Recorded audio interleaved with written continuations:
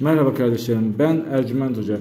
Bugün size nasibinizin açılması için bir işlem anlatacağım. Bu işlem nasibinizin açılmasını sağlıyor ve her türlü sorun probleminizin ortadan kalkmasını da sağlayacaktır. Adınızı, doğum tarihinizi ve anne isminizi yazıyorsunuz. Daha sonra bu kağıdı bilgisayardan çıktısını alıyorsunuz. Tabii ki ekran görüntüsü yapıyorsunuz telefonda. 20-25 günlük bir süreçte bütün sorunun problemin ortadan kalktığını göreceksinizdir.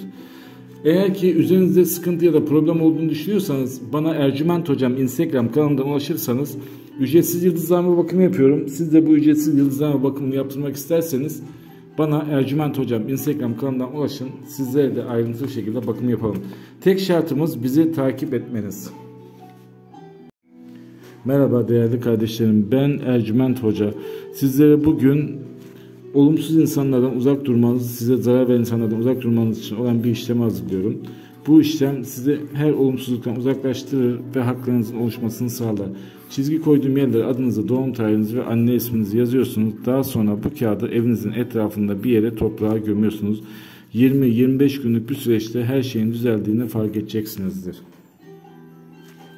Arkadaşlar Ercüment Hocam Instagram kanalından bizlere yazan herkese ücretsiz yıldızlama bakımı yapıyoruz. Sizler de bu bakımı yaptırmak isterseniz bana Ercüment Hocam Instagram kanalından ulaşabilirsiniz. Tek yapmanız gereken bizi takip etmeniz.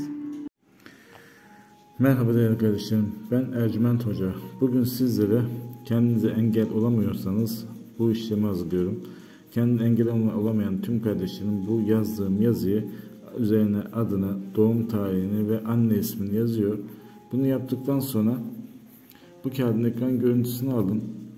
Bilgisayardan çıktısını alın ve evinizin etrafında bir yere gömün. 20-25 gün içinde her şeyin düzeldiğini göreceksinizdir. Ve ücretsiz bakım yaptırmak isteyen kardeşlerim bana Ercüment Hocam Instagram kanalından ulaşabilirler. Tek şartımız bizi takip etmeniz. Bekliyorum arkadaşlar.